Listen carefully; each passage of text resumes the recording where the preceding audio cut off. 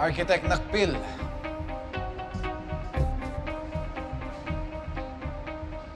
Pwede ba tayo mag-usap?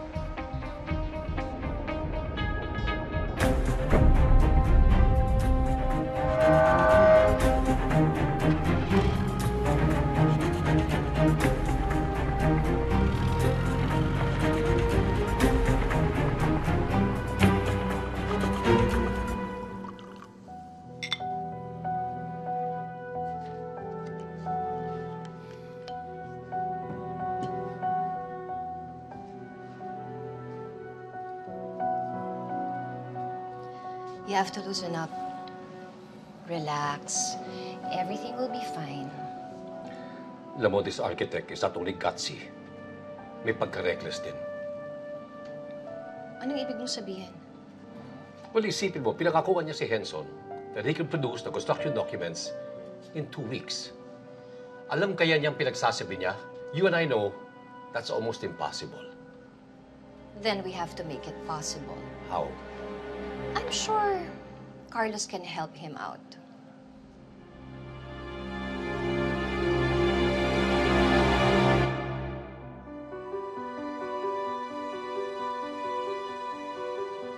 Gamit yun eh, Gail. Hindi ko pa nado-double check.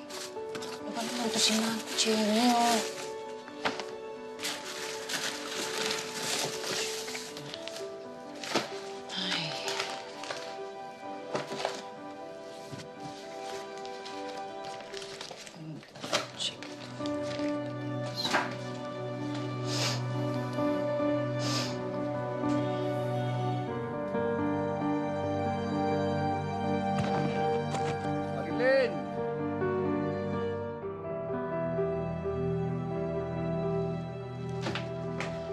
Will! Ako. Eh, nagre-rebel din yung mga lumang gamit natin. Palibasa, hindi na nagagamit eh. Ano pa kasi nangyari sa'yo? Eh, may inaabot lang ako dyan. Bigla na lang nagsibagsakan eh. Ikaw naman kasi sa susunod, mag-iingat ka. Oo. Si Venus yung nagdesisyon na gusto niyang umuwi na kasi nalulungkot lang siya dito. So okay na nga yan para... para mas madali siyang makalimot. Sana nga ganun, pero hindi naman ganun kadali yun eh. I know. Oo nga pala, Mia, ah, I won't be able to pass by later dahil may kailangan akong gawin. Pero dadaan ako bukas. O sige, okay lang, naiintindihan ko. Para sa kape. Sige. Love you. Bye.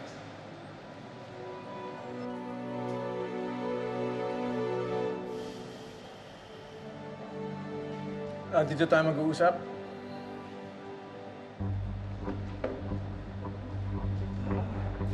Sabi ni Dad, ang unang putok daw ang pinaka nakakatakot. Pagkatapos, masasanay ka. Hindi ka na matatakot. Hindi ka na mabibigla. Tama siya. Tungkol saan ba to? Tungkol sa nakita mo kanina, it's a dog-eat-dog world, architect. Minsan, para makuha mo gusto mo, you have to use force. Pero kailangan alam mo kung kailan ka magpapakita ng lakas. Tulad kanina. Yung ginawa mo dun sa lalaki. Ganun ba yung alam mo na pakikipagnegosyo?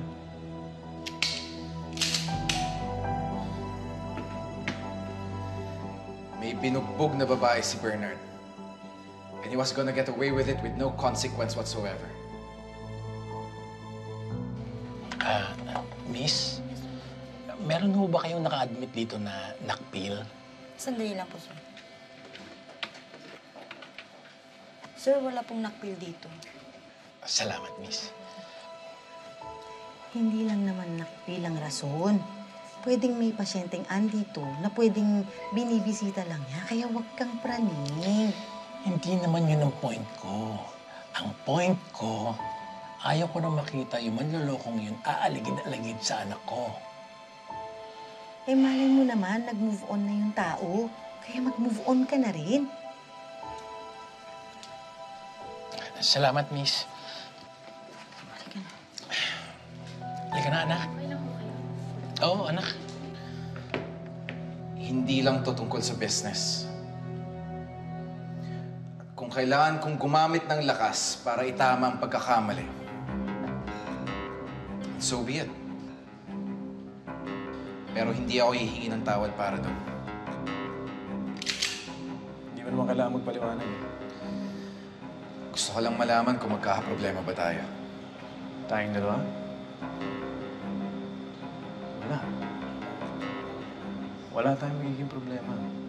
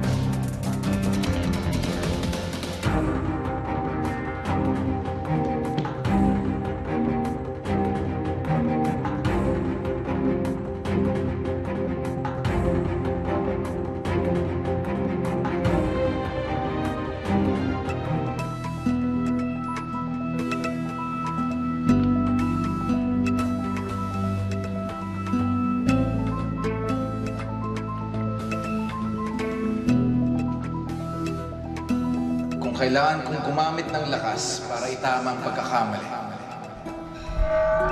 so be it.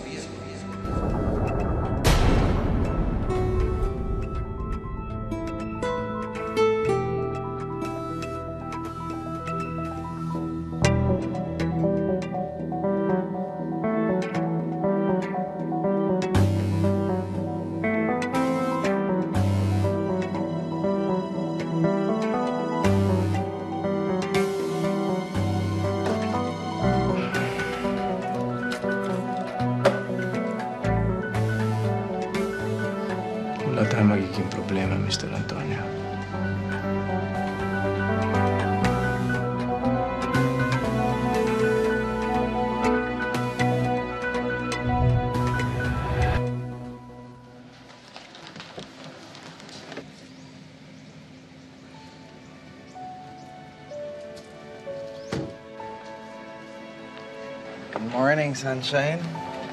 Aba, ganda ng ngiti ng mahal ko ah. Bakit?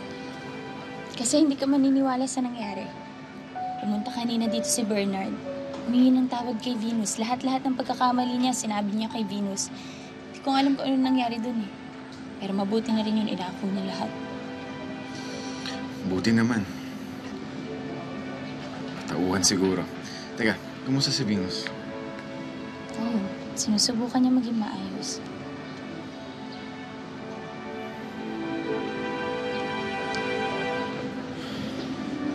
Masaya ako nandito ka. Alam ko at ramdam ko na dito, hindi kayo parehas ni Bernard. Hindi, Mia. Hindi hindi kita sasaktan sa kahit anong paraan. Halagaan lang kita, mamahalin, proprotektahan, makakalikan, ano ba ba? Ang baduy mo.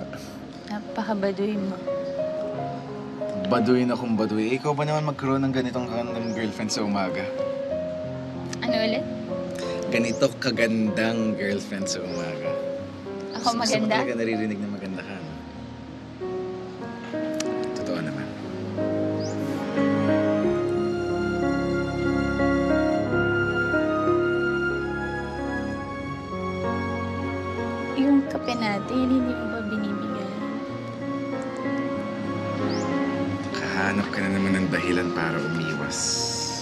Hindi ako umiiwas. Gusto ko lang ng kape muna.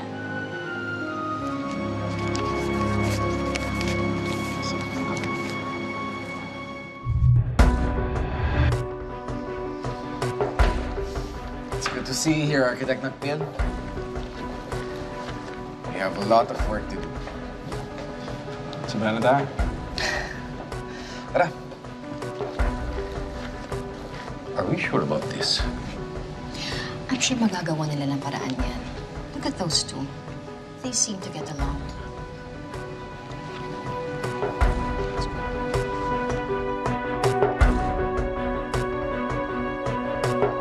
As you all know, Puente de Amor is our priority project. I need all our best people in on it.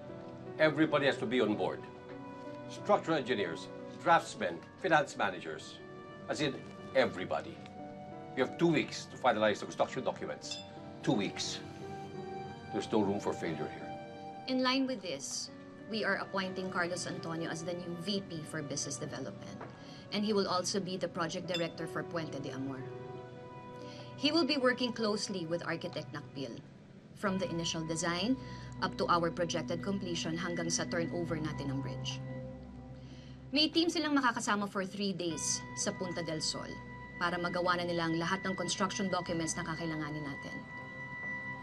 So, gentlemen, the ball is in your court.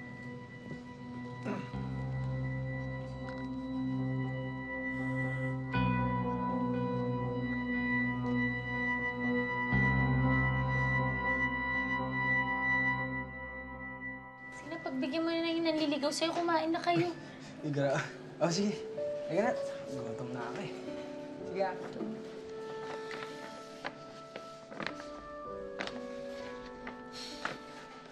Nakakatawa, Mia, no? Makakahawak ako ng ganitong kalaking pera. Sa ganitong paraan pa. Laki kong gaga. Tapos naman na eh. Wala na si Bernard sa buhay mo. Kaya dapat, ayusin mo na yung sarili mo at magsimula ka na ulit. Yun na nga eh. Hindi ko alam kung paano. Hindi mahalaga kung paano. Ang importante, pwede. Kasi may mga kasama ka pa at may mga kakampi ka. Salamat, ha? Salamat talaga. Alam mo, ito lang yun eh. Bakit di natin umpisahan sa kape? Mm. Tawagin natin yung sarili natin. Team Kape. Team Kape. Pero nga, sige. Para sa mga taong bitter. Hindi. Bakit?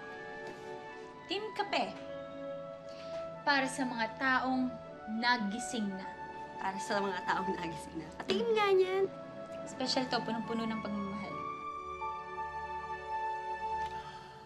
So are you gentlemen ready? Sir. Dad, you're putting too much pressure on us. Mamaya, hindi na umulit sa atin si architect. Ang gusto ko lang sabihin, Carlos, maraming umaasa sa tandem ninyo. Please don't let us down. Don't worry, Dad. Sigurado ako that we will deliver. Right, architect? Of course. Sigurado. To the next two weeks. I'm expecting much from the two of you.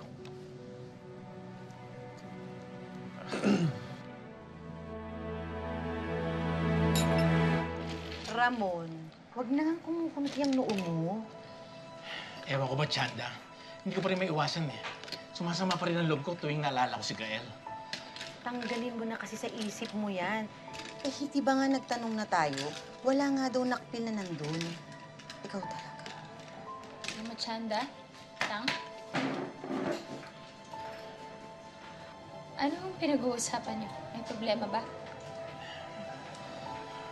Malaki. Mia, si Gael,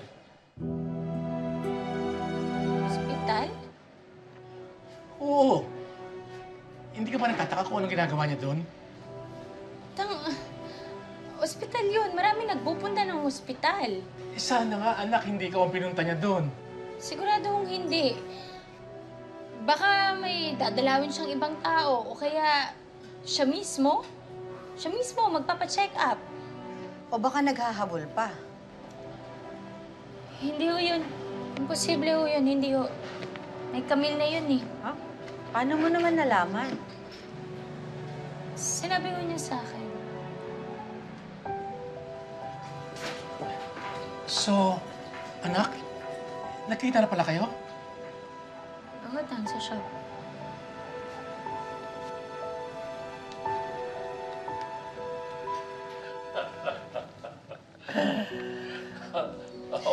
Looks like you guys are having fun. Please sit down. Hindi ba dapat eh, nagtatrabaho na kayo? I'm just giving them a uh, pep talk. Baka sakaling ma-inspire sila. Speaking of inspiration, Carlos, why don't you invite Mia to come dun sa lock-in? That might be a good idea. Um, excuse me. Um, I thought this was an official business meeting. Bakit tayo magdadala ng ibang guests? Relax, architect. Hindi naman basta-basta bisita si Mia. She's the girlfriend of our project head. And besides, normal lang naman na kung minsan sinasama ng mga engineers, yung kanilang mga partners, you know, for some relaxation and pleasure. But we're not here to relax. Uh, I'm sure Architect Nakpil won't mind kung nadodoon si Mia para kay Carlos. Ako? Hindi. Okay yan. Basta hindi makakasagabal sa trabaho. Ah, Sige, I'll invite Mia. At sigurado naman akong papayag yun. Maraming matutuwa na nandito siya. Aw, that's so sweet of you, Carlos.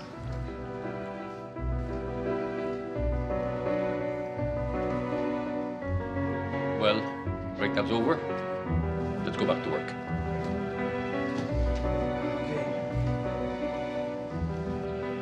Nakita na pala kayo, anak eh. Ba't hindi mo walang sinabi sa akin? Kasi, wala lang naman yun eh. Si Gael na ligaw lang kasi siya sa shop. Kaya wala lang yun. Saka halata naman pong parehas na kami naka-move on. Eh, yun naman pala, Ramon eh. Naka-move on na sila. At saka, di ba, Mia, may Carlos ka na. Yan. Buti pa si Mama Chanda. Tama si Mama Chanda. May Carlos na ho ako. Kaya wala yun si Gael.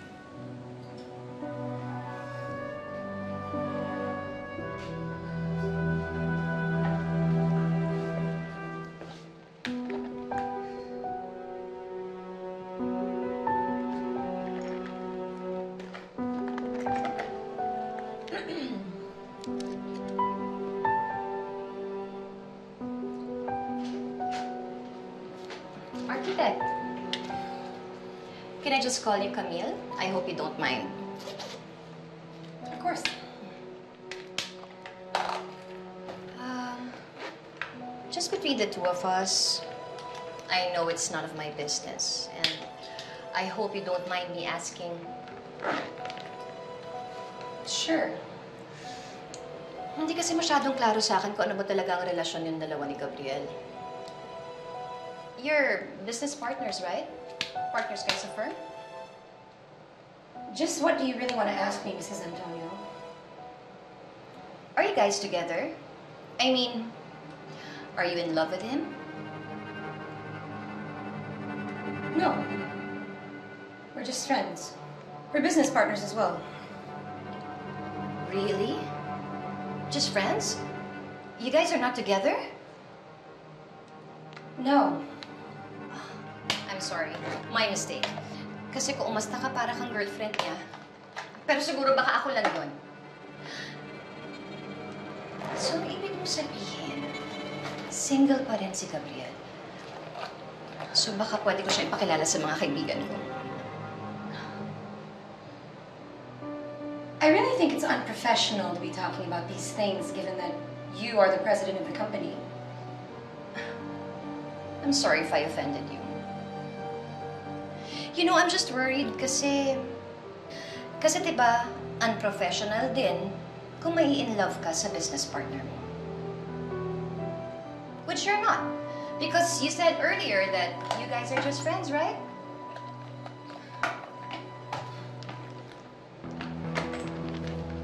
Excuse me. I need to go.